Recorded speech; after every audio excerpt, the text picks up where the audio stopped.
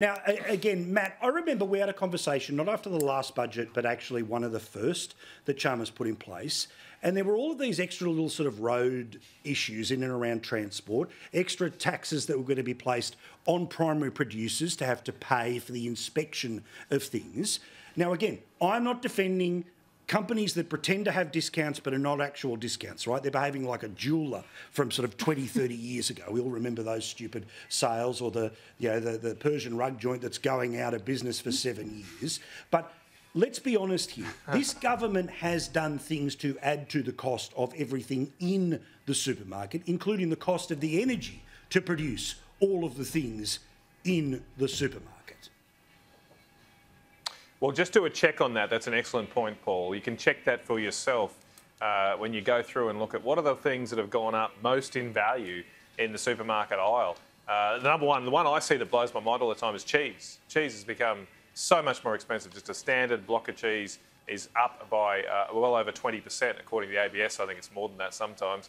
Uh, and uh, and so, why is things like cheese gone up so much? Yogurt's gone up, dairy goods have gone up, bread's gone up the products that have all, all are processed and use a lot of energy, like milk, like cheese, they've gone up more than other things like fresh fruit and vegetables, uh, fresh beef. All those things haven't gone up as much. They typically go up and down in cycles. But the stuff that needs energy needs to stay refrigerated, needs to be processed. That's gone up by a fortune. And it's gone up because of this government's terrible energy policies that have taken a country with beautiful and bountiful energy supplies, some of the lowest power price in the world, and now we're, we're, we're basically at the other end of the spectrum there. So we're all paying for that. Uh, and obviously, the Prime Minister is looking for a life-save, life-saving raft here because of that. I'm not excusing Woolies and Coles either, uh, but they're obviously not scared of what the Labor Party is doing. They're continuing uh, to act like this despite the threats of a, of a, mandatory code of conduct, which is a wet lettuce form of regulation. I do think we need tougher competition laws, real competition laws, like what Peter Dutton and us are proposing uh, to introduce divestiture powers here like the rest of the world has. I think we then get a change of behaviour from the major supermarkets. But also, uh, there's another issue here too, right? And and Peter Malinauskas, I'll never forget Peter Malinauskas, People's Forum, week before the South Australian election. Okay, now he could have fallen into the Albo trap, which he did before the 22 election, which was to say, "I promise to bring prices down. I'm going to, you know, every single item is going to come down." He said, "Look, government's not involved in everything. We're not responsible for everything, so I'm not going to promise something that can't be delivered."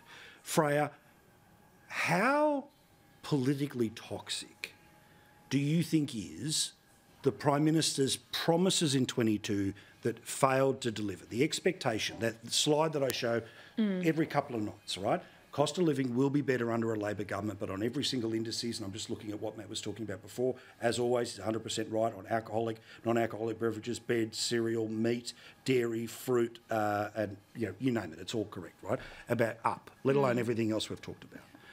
We talk about it, we're aware of it, but how potent do you think it is in the general community that they were promised something better, or is that just something that those of us that follow the detail are aware of? Well, I hope it's not. And I think we do. Well, it's, it's hard to tell because we live in this politics bubble, and anyone watching this we program right the now. of sand on the beach, other people just drive past the beach. Exactly. I but I do think that Albo has completely lost all credibility on energy policy. Before the federal election, he promised that your household power bills would go down by $275. He promised that, and Matt can fact check me on this, but I think it was on 92 occasions 100%. he repeated that.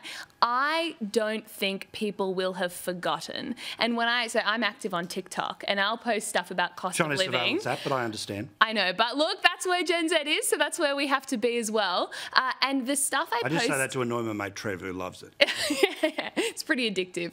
Uh, the the content I post about cost of living resonates so strongly. It always does well in the algorithm. People engage with it, they comment, and so I think people are waking up. The question is whether they remember the promises that were made before the last election. But that's why people like you are so important, Paul, oh, to hold, hold them accountable. Come back every night.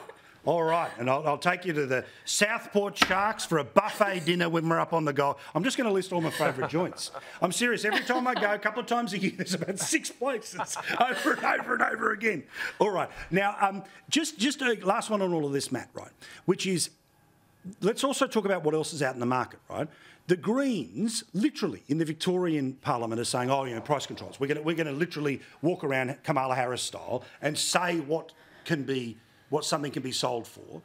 When you're coming up against that sort of populism from the left, is there a chance that what Freya's talking about here, about people who are absolutely peed off about how high everything is, they don't care what the reason is, they'll just go to where they think a solution is?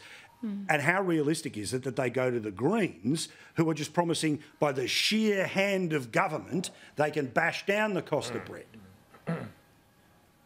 Yeah, look, I, I, think that is a real threat, Paul. Uh, it's a real threat, uh, probably more so if we leave a vacuum uh, and not come up with other solutions for people's problems. They want solutions and they'll be desperate for anything. You can tell the Greens right now, they've basically dropped climate change as a political issue.